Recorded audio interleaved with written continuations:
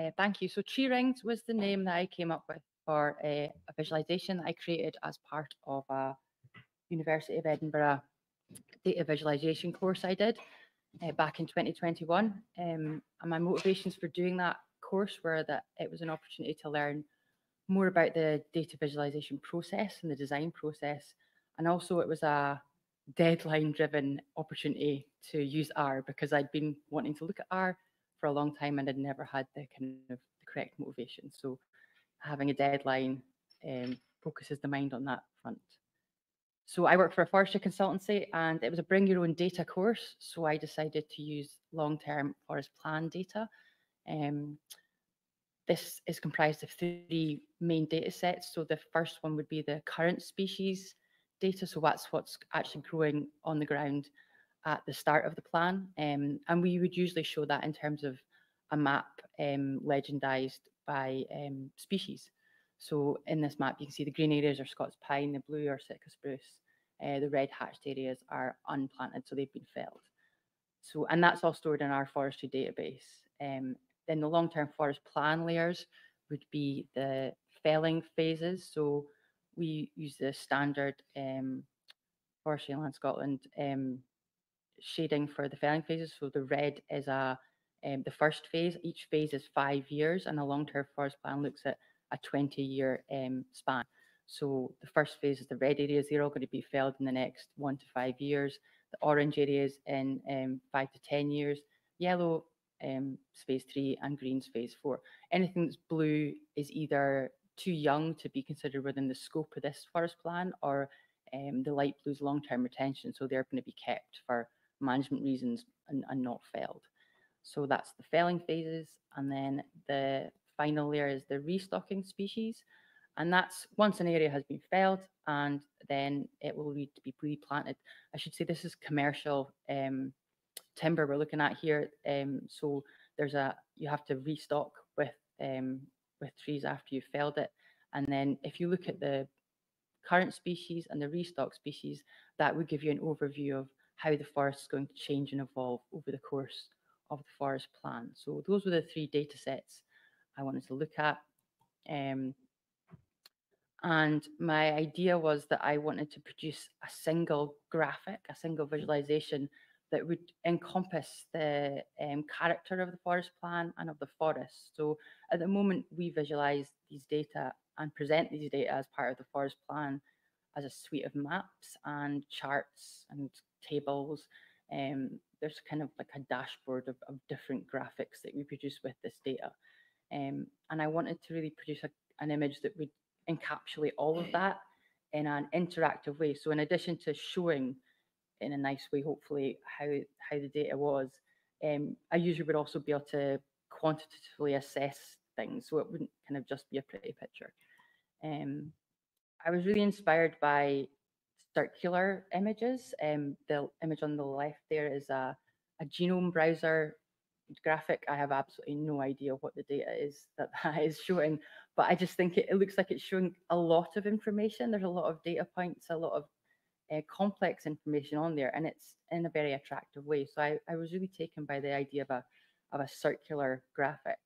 Um, and then we had to do a, a data a design tutorial where we broke out the color in pencils. So this was my um, initial sketch of what I wanted to show, which was kind of like a exploded pie chart pizza thing. Um, so in the center there, I would have um, the current species and then a ring that would then show of that species area, how much of that's going to be felled in each phase, and then what's the restocking species going to be. So that was my, my concept uh, diagram. So in terms of the data processing, um, initially the preliminary um, data cleaning and analysis I did in QGIS um, and Excel because although I wanted to learn how to use R, I uh, I should say this is probably actually the most least technical R talk you will hear because there's no code here. Um, I only had 12 weeks, so there was a lot of the data processing and tidying up that I just had to do in QGIS and Excel. Um, but then the the learning curve for me really was the the actual creation of the visualization and the exploratory data analysis and just seeing how the data looked in different ways when you when you ran it through different functions. so this was a circular process, the results of me intersecting my data set and um, cleaning it up where the, basically one big polygon layer and the attributes of that that I wanted to look at were the current species, the felling phase, the restocking species, and then the area for each polygon. And I fed that into R, it was a CSV file, and just ran it through lots of different scripts and functions to create all these different graphics and hit upon um, sunbursts. So a sunburst, a hierarchical, um, a hierarchical visualization. So if you've got a, a data set with different hierarchical levels, then you would have spokes that come out of the of the circle. But my data set, every polygon has got the same three hierarchical levels. So it's it comes out as a set of concentric rings. And in this, um, I've got a central ring, which is the current species. I've got a middle ring, which is the restocking, the felling phase, and then I've got an external ring, which is the restocking species. So that ticked a lot of the boxes um, in terms of how I wanted the data to look. And then when you click on things, if you click on a wedge, it highlights that wedge, and then this little tab pops up to show you um, the statistic, the the percentage area for for what you've clicked on. So there's a level of interaction with that. Um, and I did some user feedback with people on my course, but also with people at work. And the main thing that came back from that was that in order for this graphic to be um, intuitive and for somebody who's in forestry to be able to just look at it and think, oh, I can, I can see what's happening there, was I would need to use the legends from the maps, so the color coding that everyone's familiar with, um, and put that into the graphic. So that was my first big Stack Exchange win, was that somebody had asked that question and someone else had answered it. So I was able to plug the code in so I could define what the colors were for the species and for the felling phases. So that generated um, this version of it, um, which again, it was quite nice. You could still get some level of interaction see things. And this meant it was from somebody in forestry, they could instantly look at that and say, well, this this woodland um, is almost 50% Scots pine with a little bit of Sitka spruce. So you're able to glance at that and, and take things away from that without necessarily having to click on things. Um, the feedback on that was that it was great. Uh, people liked it, but the the outer ring, the restocking species ring, because it's um, increasingly segmented as you go out from the center, it's quite hard to see the detail of that. So here I've clicked on Scots pine, felling phase one, and you can see uh, the percentage of Sitka spruce, which is going to be stocked, and there's tiny, so you can't really see the detail of the outer ring. So um, they got work. We're saying, well, could we maybe show that information as a separate side chart, or can we zoom in um, to show more detail? So the Stack Exchange big win number two was that yes, you can. You can do a zoomable sunburst, um, and it's probably better if I just actually go to that. So that's the final, the final um, image in this process was a Plotly. Um, it was in the Plotly library in RStudio, and it's a, a sunburst function. And the the main issue I had getting it into that format was, um, well, what does the data need to look like to go in to feed into this function? And that was where the the Stack Exchange win was. Somebody had um, posted that question and answered it. So I was able to incorporate that code with the color schemes to produce this final design. So if I click on this, hopefully it'll open the web page. So this was the final graphic I had. And the intra if you hover over these things, it shows you what the percentages are. So you can see you've got 43% um, of the forest is Scots pine. And then if you click on that, it recenters it and then you can see, well, of that Scots pine, 1%, um, sorry, 3% is going to be in uh, phase one. And then the restocking species for that um, is going to be mainly Scots pine with a bit of Sitka, some mixed conifer and smoking ground and native broadleaf. So you're able to, um, by clicking and hovering over things, you're able to actually get quite a nice amount of detail um, from this. So, uh, back to the PowerPoint. So that was great. Um, yeah, but the the feedback I had from that was that that was great, but what the foresters actually wanted to see was um, the before and after for the restocking species. So that involved jiggling the hierarchy around a bit so that felling phase was at the center of the image, and then um, the current species was the middle ring, and then the restocking species was the outer ring. Um, and there was also a bit of contrast between what my classmates thought with regards to the colour schemes and what the forest managers thought. Um, the people on my course were saying you should use more modern colours and, and make it more muted.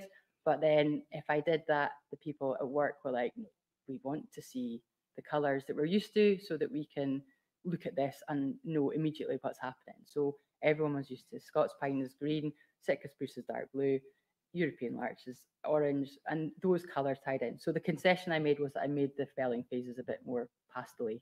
Um, that was the kind of compromise. But then, so this final image, so you can see phase one here, we've got um, the composition of the areas that will be felled in phase one. And then if I click on the larch, it's a very good example because this is data from the last forest plan we did. This one's coming up for renewal. So this was from 10 years ago. There wouldn't be any larch in that wedge anymore because of Dothistroma. So you can interrogate this and look at different things. I mean, somebody could could um, click on that and, and see that larch and think, oh, well, I'm going to look into that and figure out where that is so that um, we can remove that. Um, and yeah, the feedback we've had from this has been really nice. Everyone says it's it's interesting.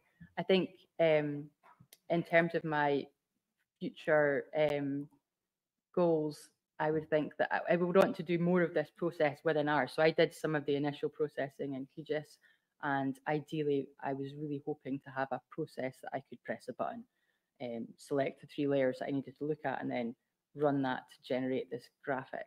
Um, also dealing with the species mixes in that graphic, there was quite a big wedge of um, light green, which is mixed conifer, um, which was my compromise in terms of where we've got areas that are intimate mixes of lots of different species. I'd need to split those out on the percentages and use that um, in some sort of script that in somehow.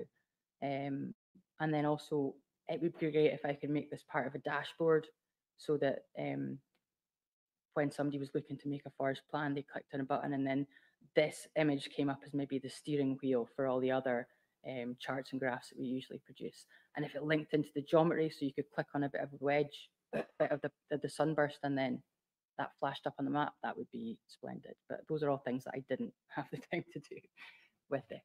And I think I probably ran through that quite quickly, but um, yeah, that's me. Thank you.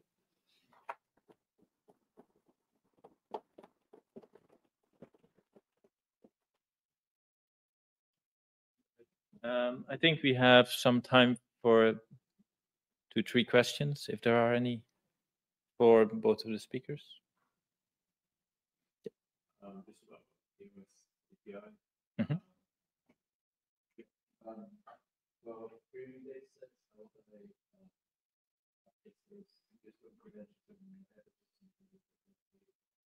So the premium data sets, pretty much the exact same color system in the, endpoints of product for open data set or simple data packages for premium data sets. So you set up your data package premium and then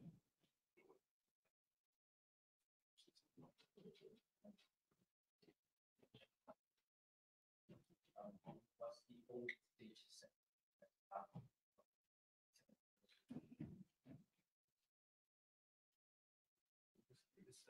open or? So it's, we have machine platform and user API. And then would it, be two months old or would it last month? So, if you're pulling from open products, it would be most up-to-date version of the data.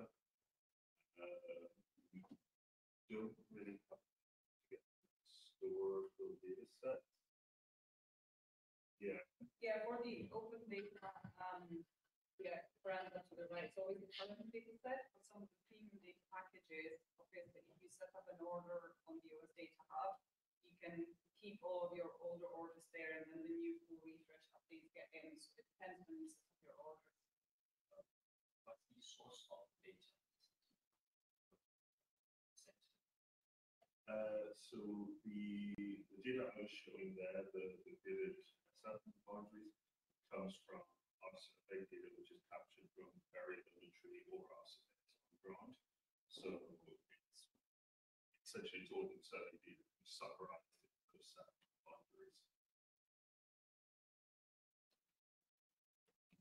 All right. Yeah, yeah, go ahead. No worries. Well, she would have been a couple of questions, but one or two more about applications that for all county for business development. Seems like it's a lot. Question that so it's not green, it's for this cheap purposes. Um, so, sorry, I think, um, So like what is that in terms of green and versus like this cheap? Um, I guess for this particular organization, it would be a forest plan, so. We would have to statutory submit a forest plan for everywhere that's been, um, felling and stuff, so this would be, um, a complement to to the forest. So the forest is using that kind of planning, um, operational, um, side of things, and also then the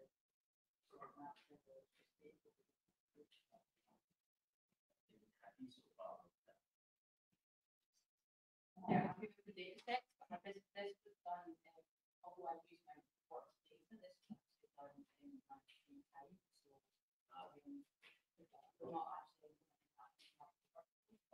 it would be nice um, that was something that. is not-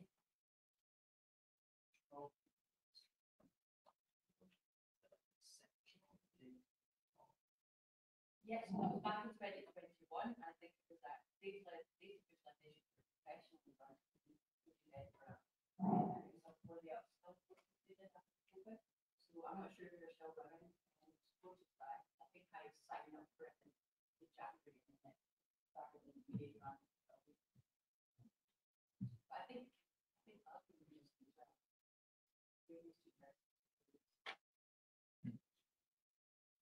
Are there any other questions? Yep, sure.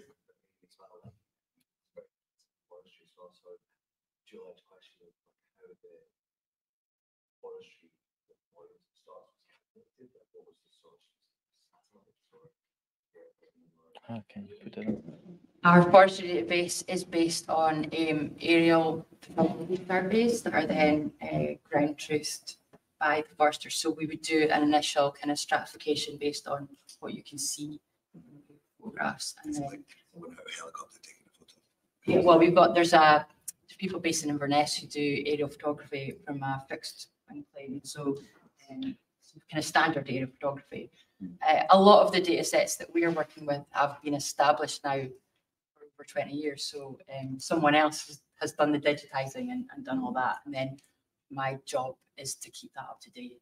And so when things are felled or when things are replanted, then somebody goes out and we, we tend to use phones now for GPS because that level of accuracy, we just, we don't need like centimeter precision accuracy for you know, where the trees stop and start. Um, so someone will go out and they'll, they'll um, measure the boundaries when something's been replanted and then I'll update the database based on on that GPS data. But initially, most of them are based on, you know, photography surveys.